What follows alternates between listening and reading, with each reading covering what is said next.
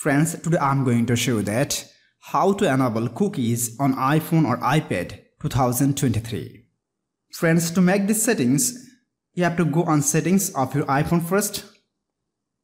Then you have to open Safari. This one Safari, right? So I have to open this one. After that, I have to go on privacy and security. This one, my friends, privacy and security, right? And from here, I have to turn on this one, prevent cross-site tracking.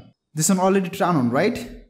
But if you want to make it turn on block all cookies, and if you make it block all, the prevent cross-site tracking will be disappear, right? Will be blur. So friends, you have to turn off this one, block all cookies. So friends, like this, if you want, you can enable cookies on iPhone or iPad. Friends, to make these settings, if you face any problem, feel free to ask me in comment box. I'll try to give answer as soon as possible. Friends, if this video helpful to you, please like, share, comment and especially subscribe my YouTube channel and press the bell icon to get next video notifications.